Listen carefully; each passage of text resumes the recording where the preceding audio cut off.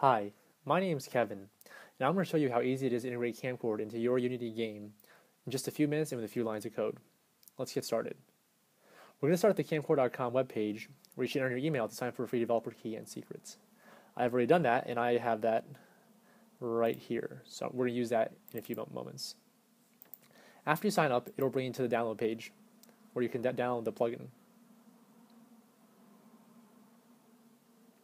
So right now we're using Unity, so we're going to go there.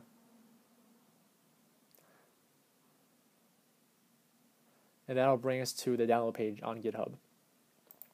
So the link you're going to want to click is this one, and that'll download the zip file with the plugin, which I already have on my desktop right here. So we're going to skip that step. So I'm going to open the Unity IDE version 4.1, and I have the Angry Bots demo freshly loaded. Um, so we're going to integrate Kamcord into this demo app. So first we're going to unzip the download. And we're going to import the Kamcord assets into Unity.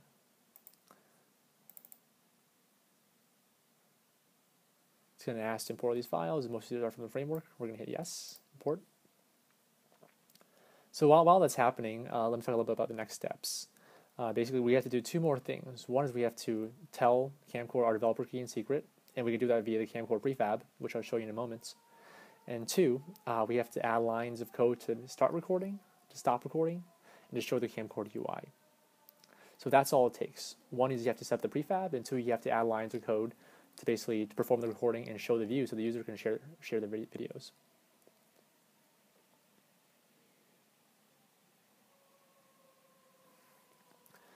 So we're going to find the Kamcord prefab under prefabs. We're going to drag it into what should be the first scene of your game. Uh, in this case, there's only one scene, but uh, if you have multiple scenes, then you want to drag into the first scene. Um, here on the right side, we're going to put in our developer key and secret that we got from before. Copy and paste that here.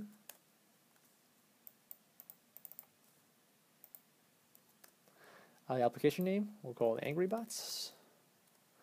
Um, and depending on how CPU and GPU intensive your game is, you can uh, automatically disable Kamcord on certain older, older devices. So now we have set the prefab, we just have to add the scripts to basically start, stop recording, and show the Kamcord view.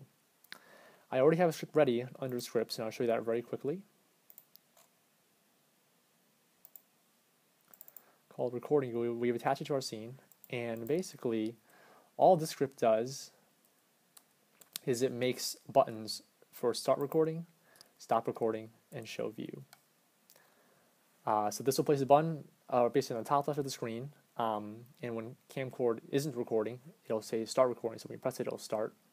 After you press that, it'll turn into a stop recording button. When you press stop, it'll it'll it'll go back to start recording button and also show a show view button. So if you press the show view button, it will show the Kamcord UI. And that should be it. Um, you're ready now to build. And once you build to iOS, um, everything should work. Thanks for watching.